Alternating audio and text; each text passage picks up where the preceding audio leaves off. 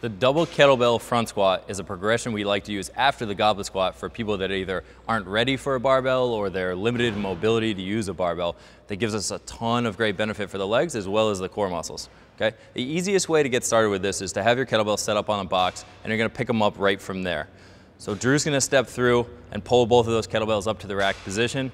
And before we even start squatting, what you'll notice here is that his forearms are near vertical, right? We don't wanna have those arms turned too far out where the elbows are up high and we're lacking stability there. We want them down low where we're really locked in. And now as he goes into his squat, he's got a ton of anterior core demand to force him to stay in this upright position and not kind of fall forward out of that. So you'll see as he goes down, he keeps the same good angle and the weights in front make it easier for him to keep a good upright torso, which makes it a great progression from the goblet squat.